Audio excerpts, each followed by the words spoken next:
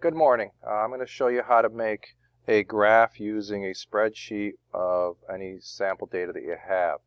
I'm going to do this in two parts. I'm going to do the first part is going to show you how to graph the data and uh, clean up all the axes, and then for the second part, I'm going to show you to do error bars.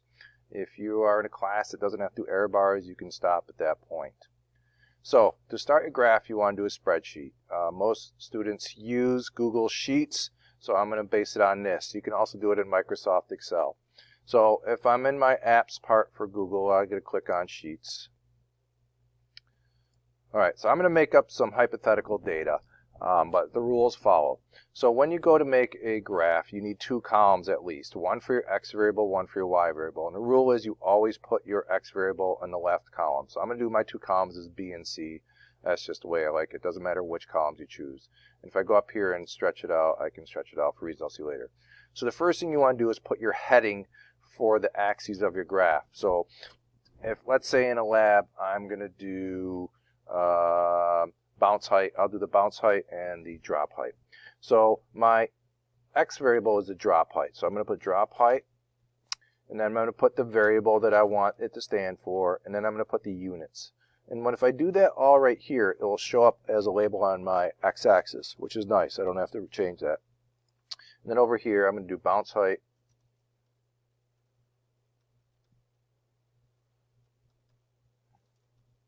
And I'm going to do a B, and again in centimeters. Okay, so now I'm going to enter my data. I don't have actual data, that's all right. I'm just going to do hypothetical data, so I'm going to say 150, 120, 90, uh, 60, and let's say 30.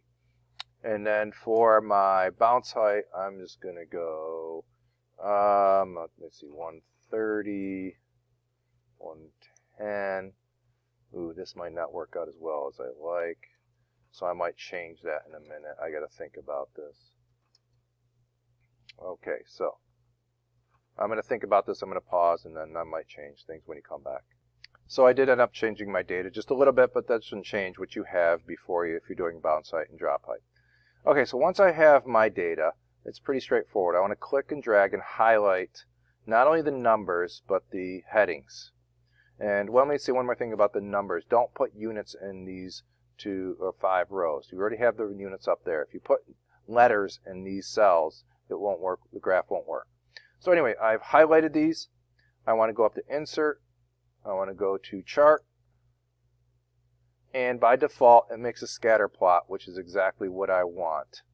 So the rest of what we have to do is just kind of formatting. So before I do that, I'm going to click out of the chart editor. I'm going to come back to that later. Okay. And I want to move this chart to a different sheet because right now it's just sitting over my data and I don't want that. So as soon as I click somewhere in the chart in this margin, I see these three dots come up. So I'm going to click on that, move to its own chart. Very nice. So now I want to start editing this chart. So I'm going to go up to where it says Edit Chart. And there's a lot of different things I can do. When I go to Edit Chart, there's two tabs. There's Setup and Customize. Most of what I want to do is in Customize. So when I go to Customize, so let me tell you the things I want to accomplish before I show you how I do each one. I want to change my heading slightly. There's too much information here because it just copied what I put in my headings. Notice my heading showed up right here in my axes. That's great. I don't have to go in and change that. If you look at my first data point, it starts right here, which almost seems like it's zero. That's not correct. So I got to change the x-axis. I got to extend it back to zero. I don't like the fact that my last data point is right at the edge of my graph, so I'm going to extend the graph a little bit. And that can be done very easily. I'm going to add more grid lines. Um, and if I'm going to add error bars, I'm going to make the data points smaller. All right, so let's do each one. So first I'm going to change this. So if I look at all my choices, right, if I scroll, I see chart and axis title. So that's pretty obvious. I want to do chart title. So right now it's bounce height versus that. So I can just go up here and in this dialog box, and I'm just going to get rid of the centimeters and all. I don't need that. I just want to say bounce height versus drop height. And maybe I add for, uh, let's say, Top-Flite golf ball. You might have a different brand for your particular lab. You would want to put that there. All right, that's straightforward enough. So I'm going to click out of this.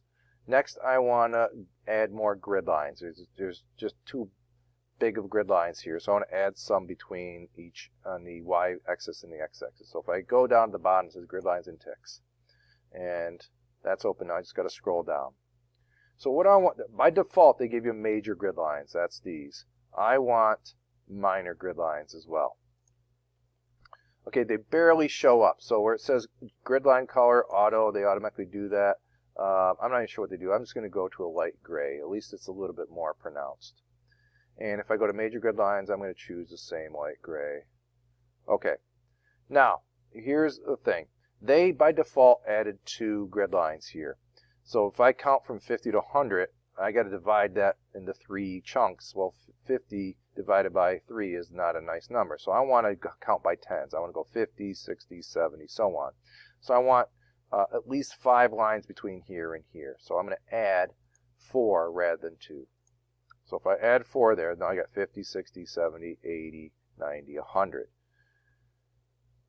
That did it for the vertical axis. In fact, if I scroll up, that's the default thing that comes up when I do grid lines and ticks. So if I want to do a horizontal axis, I just click on that, go to horizontal axis, and do the same thing I did before. I'm going to change, I'm going to tick, uh, check minor grid lines.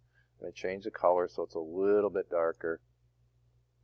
And then I'm going to put 4 for each one.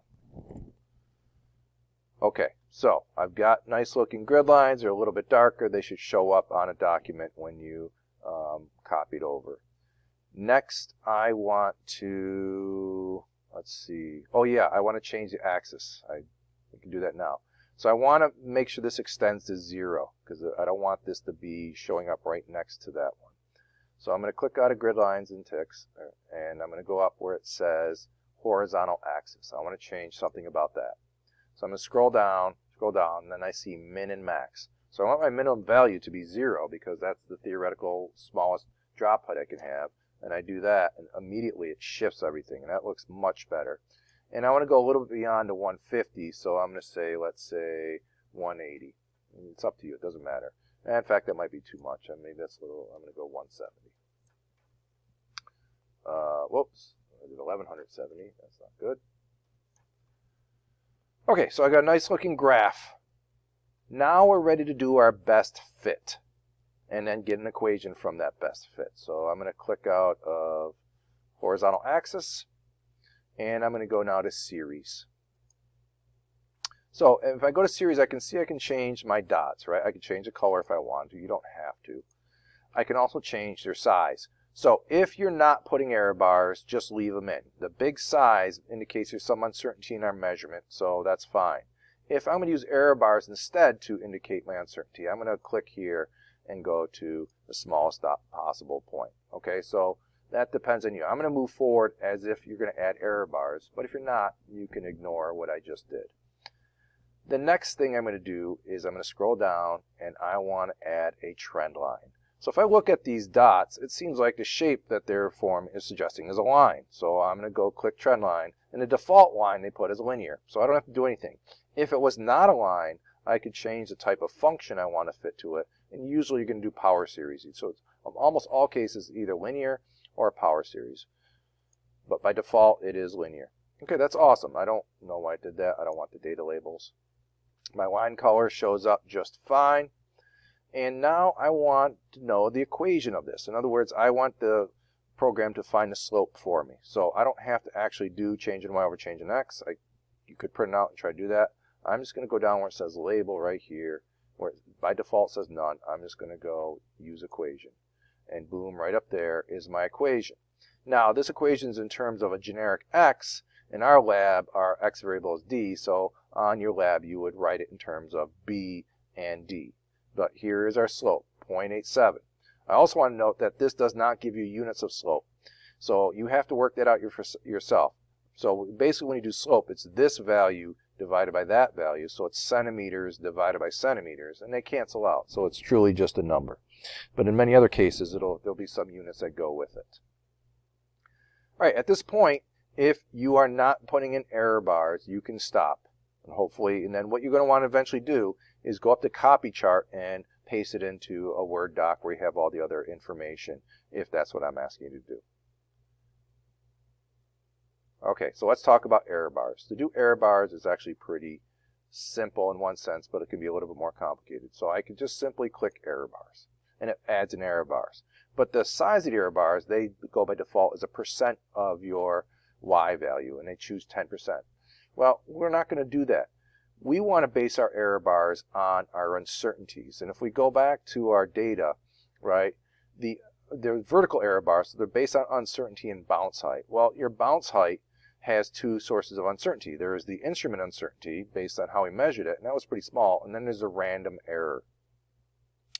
So let's say if you do the random error for each of your uh, trials, I'm just going to make some stuff. Let's say you got 1.5 for this, 0.69 for that, uh, 2.3, 2.5, and let's say uh, 1.6. Okay, so you you did those on your data table prior. I'm just transcribing it right here, random error. So what we would I, I do like to be able to do is for this particular point, 130, I'd like to put a bar that's 1.5 above this and 1.5 below 130, and then do it for each of these. Unfortunately, Google Sheets doesn't allow that. So we're going to do a little cheat. We're going to basically take the rough average value of all these. So I'm going to say on average our error bar is 2. I'm just going to do, choose a nice round number. So that's what I'm going to tell if I go back to the chart and I go up to edit chart and I go back to see, customize series, scroll down or error bars. I don't want a percent, I want a number. So I'm going to put constant and I'm going to put in 2. So notice our error bars are pretty small, but notice that our line passes through all the points, including the error bars. What's left after this is how to put in min and max, and there's a separate tutorial for that. So uh, I'll leave that tutorial for you to watch if you have to add min and max lines. Otherwise, this is pretty much it. At this point, you can copy your chart and paste it into a document.